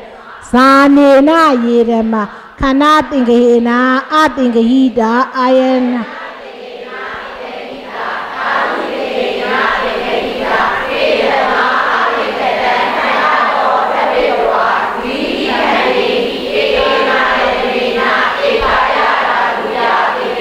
ဟို184မှာတစ်ခါထပ်များမယ်အပုတ်20ရှိရယ် သောကေနာယေရမဒုက္ခေနာယေရမဒေါမနတေနာဥပယာတေနာယေရအပရိစ္ဆသမုပ္ပါကဘယ်နှပုတ်ပါလဲ၄ပုတ်နော်ဝေဒနာသောကဒုက္ခဒေါမနတာဥပယာပြီးတော့မှသတိပဋ္ဌာနေနာယေရမသမပဋ္ဌာနေနာယေရမအပမိညာယယေရမပစ္စာဟိအိန္ဒြိယေဟိယေရမပိစာဟိဗလေဟိယေရမတတဟိဘုဇင်ကေဟိယေရမ အရိယေနအထင်ခိကေနမေကေနယေရမဖတ်တေနယေရမဝေနာယယေရမတင်ညာယယေရမစေနာယယေရမအဒီမောက်ခေနယေရမနတိကာရေနယေရဟေတုဟိဓမေဟိယေရမဟေတုဟိစေဝတာဟေတုကေဟိစယေဓမေဟိယေရမဟေတုဟိစေဝဟေတုတံပြုတ်တေဟိသာဓမေဟိယေရမ ခန္ဓာသင်္ကေနာအသင်္ကေဟိတာအာယနာသင်္ကေနာသင်္ကေဟိဓာတုသင်္ကေနာသင်္ကေဟိတာတေဓမ္မာအသင်္ခတံခန္ဓာတော်ထပေတောတိဟိခန္နေဟိဧကေနာယနေဧကာယဓာတုယသင်္ကေဟိအပိစ္ဆသမုပ္ပတ်ထေဟာ၄ဘုတ်ဥပရိတေဟာ14ဘုတ်ဟုတ်လားနော်14ပုတ်ဆိုအလုံးပေါင်းဘယ်လောက်လဲ18ပုတ်ဟုတ်လားနော်ဘယ် လောက်လဲတောကဒုက္ခဒေါမနတာဥပယာသ၄ပုတ်ဆိုဟိုကဒီသတိပဋ္ဌာန်တို့ဘာလို့လဲကဘယ်နှပုတ်လဲ14ပုတ်လား73ပုတ်လားတေချာရေးကြည့်တကယ်ဟိုမှာသုတ္တတဥပရိသုတ္တတလို့ပြောထားရမလားဥပရိရဘယ်နှပုတ်ဟောရမလဲ14ပုတ်ဒီမှာဘယ်နှပုတ်ပဲရှိလဲရေးကြည့်73ပုတ်ပဲဇာနာဓမ္မအပေါ်ကသွားပေါင်းထားရလေ18 183မှာဇာတိရာယေရမဇရာရယေရမမရဏေနယေရမဇာနေနယေရမဇာနာအပေါ်ရောက်သွားရလေဟုတ်တယ်နော်အားကြောင့်မလို့ဒီမှာ73ပုတ်ပဲရှိတယ်အားကြောင့်မလို့ဟေတုက3ပုတ်နဲ့ပေါင်းမှာ20 184က20 20နော်20ဇာနာပဲရောက်သွားလဲအပေါ်နှစ်တစ်တစ်တွေလေနှစ်တစ်တစ်တွေနှစ်နဲ့မရေဘူးတင်းနဲ့ရေမယ်တင်းနဲ့ရေမယ်နော်အာတူသွားလို့လေနော် နော်ခန္ဓာသင်္ကေနာတို့အအကုန်လုံးကတူတယ်နော်အဲအကြောင်းမလို့အဖေလဲတူလို့သွားပေါင်းလိုက်တာ185သူကြဘယ်ရဲရလဲစုလန္ဒရာဒုတ်ထဲကနော်အပစ္စယေဟိဓမေဟိယေဓမ္မာအသင်္ကတေဟိဓမေဟိယေဓမ္မာခန္ဓာသင်္ကေနာအသင်္ကဟိတာအာယနာသင်္ကေနာသင်္ကဟိတာဓာတုသင်္ကေနာသင်္ကေတေရမစတုဟိခန္တေဟိဧကေနာယနေနာဧကာယဓာတုယာသင်္ကေဟိ 186အာတဝေဟိဓမေဟိယေဓမ္မာအာတဝေဟိစေဝတာတဝေဟိသဓမေဟိယေဓမ္မာအာတဝေဟိစေဝအာတဝတံပြုတ်တေဟိသဓမေယေဓမ္မာခန္ဓာသင်္ကေနာအာသင်္ကိတာအာယနာဓာတုသင်္ကေနာသင်္ကေဟိတာတေဓမ္မာအာသင်္ခတံခန္ဓာတော်ထပိတတိခန္နေဟိဧကေနာယေနေ ဧကာယဓာတုယာတိ180ခွန်တန်ရောစနေဟိဆို၃ပုတ်၃ပုတ်ကိုကုစားပြုတယ်နော်ဂန္ဒေဟိလည်း၃ပုတ်ဩကေဟိ၃ပုတ်ယောကေဟိ၃ပုတ်နိဝေနေဟိ၃ပုတ်ပရာမာသေဟိနှစ်ပုတ်ပရာမာသေဟိကြဖြန့်လိုက်တယ်ဟုတ်တယ်နော်အပေါ်က3စီဆို1 2 3 4 5ပရာမာသေဟိဓမေဟိယေရမပရာမာသေဟိစေဝါပရာမတ်ထေဟိစာဓမေဟိယေရမအလုံးမမနဲ့ပုတ်တယ်16ပုတ်ဒါကြောင့်မလို့ မတ်စုမှာပြန်ကြည့်မယ်ပညာ189ခုနှစ်၌တန်ရောစင်နေ့အဖြေတူပုတ်ပေါင်းလောက်လေ18ပုတ်ဟ ဟုတ်လားအဲ့လိုရထားရနော်19ပုတ်တကယ်ပါဠိမှာတန်ရောစနေဟိဒါပဲအဲ့ဒါအဓိပ္ပာယ်ကပါလဲ3ပုတ်ဂန္ဓေဟိ3ပုတ်ဩဃေဟိ3ပုတ်အပေါ်အာတဝလို့ဆိုရမှာနော်အာတဝပုံစံအတိုင်းဆိုရမှာနော်ပြီးတော့မှပရာမာသနှစ်ပုတ်ကိုဖြန့်လိုက်တယ်โอเคရပြီနော်ပြီးတော့မှ188 နော်စေတသိက်6ပုတ်စေတိကေဟိဓမေဟိယေဓမာ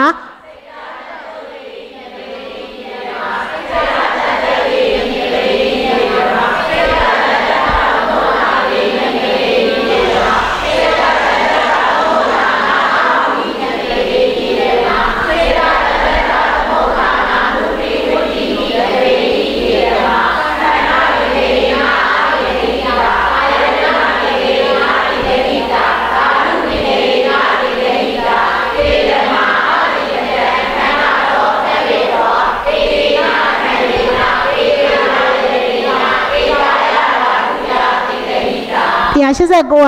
စီစီနော်စီနှစ်ပုတ်စိတ်တသဟဘူဟိဓမေဟိယေဓမ္မာစိတ်တာနုပရိဝတိဟိဓမေဟိယေဓမ္မာခန္ဓာသင်္ကေနာအသင်္ကေတာအာယနာသင်္ကေနာအသင်္ကေ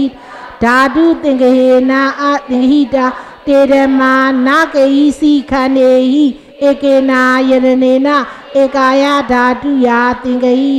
နောက်ဆုံး190နော်အဲ့မှာနှစ်ပုတ်190ကျတော့ဥပါဒါနေဟိဓမေဟိရေအဲ့ဒါသုံးပုတ်ကိုကိုစားပြုမယ်ဥပါဒါနေဟိဓမေဟိရေဓမာသုံးပုတ်ကိလေသေဟိဓမေဟိရေဓမာကိလေသေဟိစေဟိဓမေစေဝါကိတံကိလေတိကေဤသာဓမေဤရေဓမ္မကိလေတေဤစေဝါတံကိလေထေဤသာဓမေဤရေဓကိလေတေဤစေဝါကိလေသာတံပြုတ်တေဤသာဓမေဤ ရေဓမာ၄ပုတ်ကိလေသာ၄ပုတ်ဥပါဒါနေဟိဓမေဟိက3ပုတ်ဒါကြောင့်မလို့ပညာ190၌ဥပါဒါနေအဖြစ်တူပုတ်ပါ9ပုတ်ဟုတ်ပြီနော်9ပုတ်အာအပေါင်းလိုက်လို့ရှိရင်အဲ့ဒီကဏ္ဍတွေကိုပြန်ပေါင်းရင်လည်း60ပဲနော်60ပဲအဲ့တော့မှနော်ဆက်ဆိုလိုက်ပါအောင်နော်ပြီးပြီးပြီနော်ပြီးပြီးတော့ဒါဆိုရင်ရပြီနော်အဲ့တော့မှတ်စုကိုပြန်သွားပါမယ်တတိယနေရာ၌ရူပခန္ဓာမဟုတ်ဘူးတဲ့ခန္ဓာထဲမှာတယောခန္ဓာမလား တယောခန္ဓာရူပခန္ဓာမဟုတ်ဘူးတဲ့ဘာလို့မဟောတာလဲတဲ့နော်ရူပခန္ဓာဟောရင်ဟုတ်တယ်နော်ယေရမာယသူကခန္ဓာချင်းမတူအောင်လို့ပြောတော့ရူပခန္ဓာယုံ28ပါးဟောလိုက်ရင်ခန္ဓာချင်းမတူအောင်လို့ပြောတော့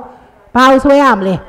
ရူပခန္ဓာဆိုရင်ဟုတ်တယ်နော်ရူပခန္ဓာဆိုတာ1 7 7မလား1 7 7ရူပခန္ဓာဆိုရင်ရူပခန္ဓာအာယနာ7ပါးဓာတ်7ပါး ရူပခန္ဓာနေရ1လို့ပေါ့ပထမနေရအတိုင်းဆိုရင်1 7 7ရူပခန္ဓာဟောရင်ကြံတဲ့ခန္ဓာလေးပါဝေနဲ့ခန္ဓာသင်္ညက်ခန္ဓာသင်္ခါရခန္ဓာဝိညာဉ်နဲ့အဲ့ခန္ဓာတွေတစ်ခုကိုရေဆွဲရတော့မယ်အဲ့ခန္ဓာတွေတစ်ခုကိုရေဆွဲမယ်ရေဆွဲတော့ခန္ဓာမတူဘူးထားအဲ့ဒါတွေကအာယနာ7ပါးပြည့်မလားအာယနာတူရမယ်ဓာတ်တူရမယ်ပြောထားတာလေအာယနာ7ပါးပြည့်နိုင်လားမပြည့်နိုင်တော့ဓာတ်လည်း7ပါးမပြည့်နိုင်တော့ဒါကြောင့်မလို့တဲ့နော် ခန္ဓာ၄ပါးလုံးကိုတော့၎င်းတပါးပါးကိုတော့၎င်းရေဓမာယယူသောအခါခန္ဓာအရာချင်းတော့မတူဘူးပေါ့တဲ့မတူ၍အတင်္ဂိတအရာကဖြစ်နိုင်ပေသည်တဲ့သို့တော့ရူပခန္ဓာမှာအာယနာ7ပါးဓာတ်7ပါးရခဲ့ရာသူရူပခန္ဓာနှင့်အာယနာဒုဓာတ်တူရသောကျွေးနမခန္ဓာများကမရှိနိုင်ထို့ကြောင့်ရူပခန္ဓာကိုမဟောပါနော်တတိယနေရာ၌ဝိညာဉ်နဲ့ခန္ဓာကိုမဟောရခြင်းကြောင့်အဲ့တိုင်းပါပဲဝိညာဉ်နဲ့ခန္ဓာကိုဟောရင်သူဘာကိုယူရမလဲ ကြံတဲ့ခန္ဓာလေးပါဟုတ်တော့တစ်ခုခုရေဆွဲရမယ်တဘာဘကိုရေဆွဲရမယ်အဲ့တော့အဲ့ကြရင်တော့ခန္ဓာအရာချင်းမတူဘူးနော်အာယနာကြတော့ဝိညာဉ်နဲ့ခန္ဓာဆိုအာယနာပါလေမနာယနာဟုတ်တယ်နော်အဲ့လို့ဆိုဒီဘက်ကကြံတဲ့လေးပါမှာမနာယနာပါတာရှိလားမရှိတော့ဘူးဟုတ်တယ်နော်ဝိညာဉ်နဲ့ခန္ဓာမနာယနာတပါးတယ်တတဝိညာဏဓာတ်ကိုကြံတဲ့ထဲမှာရှိမလားမရှိဘူးဒါကြောင့်မို့အာယနာဓာတ်တွေတော့မတူနိုင်ဘူးနော် အကြောင်းကတဲ့ဝိညာဉ်နဲ့ခန္ဓာမှာမနာယနာတတဝိညာဏပြတ်တတ်ပြီးကျွန်းတရားများမှာမနာယနာမှတပါးသောအာယနာ7ပါးတတဝိညာဏဓမ္မတပါးသောဇတ်7ပါးပြကြ၍အာယနာချင်းတက်ချင်းကလုံးဝမတူနိုင်ကြပြီထို့ကြောင့်ဝိညာဉ်နဲ့ထံအဲ့တော့တရားတော်ကိုဘာလို့မဟောလဲလို့ပြောရင်နရပါဘူးဆိုလို့လေခန္ဓာတူရမယ်အာယနာ